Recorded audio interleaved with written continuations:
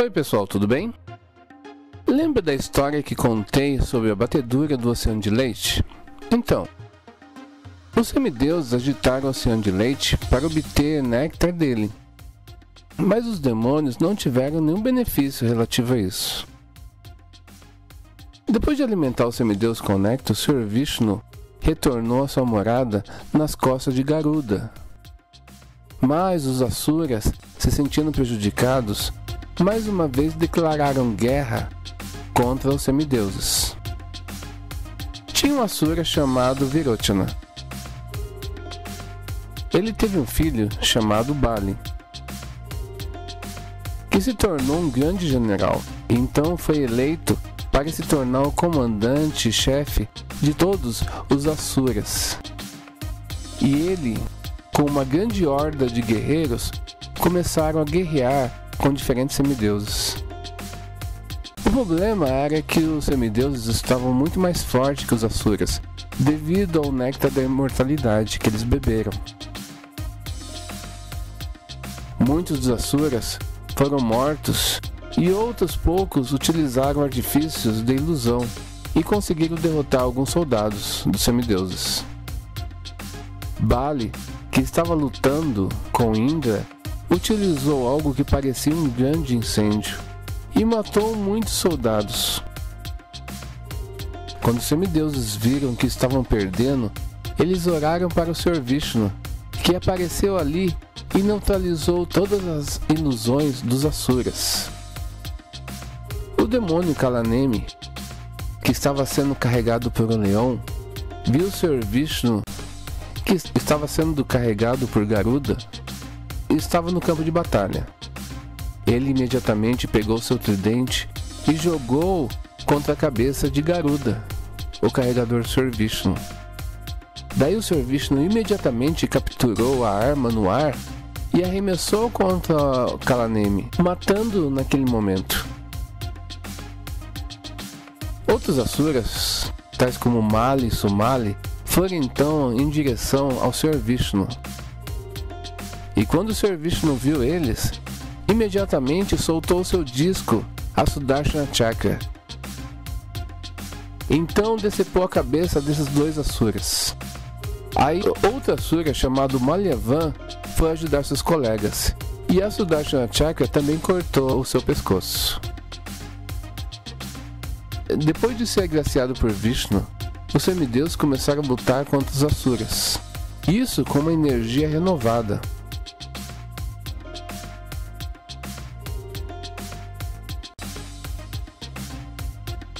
O rei Indra lançou seu raio contra Bali e Bali caiu morto ali.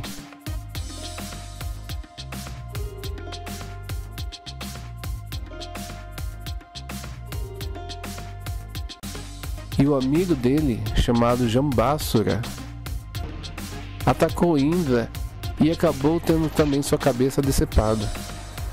Os semideuses resolveram então acabar com todos os demônios que existiam no universo. Quando os parentes de Jambasura ficaram sabendo que ele tinha sido morto por Indra, o rei dos semideuses, eles investiram com todas as armas contra Indra. Indra usou seu raio e acabou decepando a cabeça deles também. Mas quando ele soltou a mesma arma contra um Asura chamado Namiti, nada aconteceu. Então ele começou a jogar diferentes armas e nada acontecia. Indra, não tendo sucesso nessa luta, ele acabou ficando muito melancólico. Só que na sua melancolia ele ouviu uma voz vinda do céu que dizia: Uma arma seca, uma arma seca ou uma arma molhada, uma arma molhada não pode matar Namut.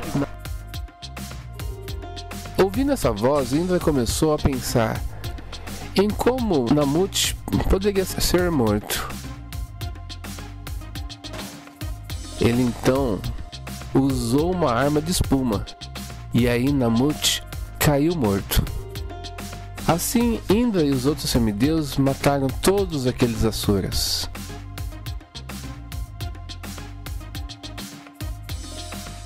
Mas foi aí então que o Senhor Brahma, percebendo que o semideus estava pensando em acabar com todos os Asuras, os demônios que existiam no universo, ele pediu para que Narada Muni acabasse com o ânimo da guerra.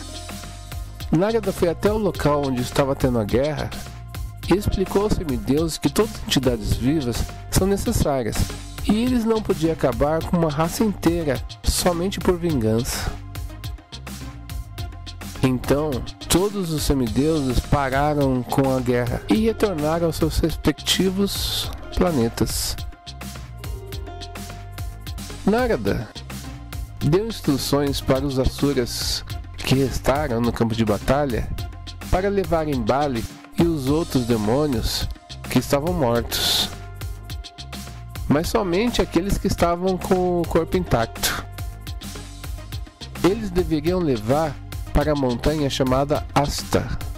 Quando os Asuras chegaram lá, naquela montanha, eles encontraram o mestre de todos os Asuras, chamado Shukracharya.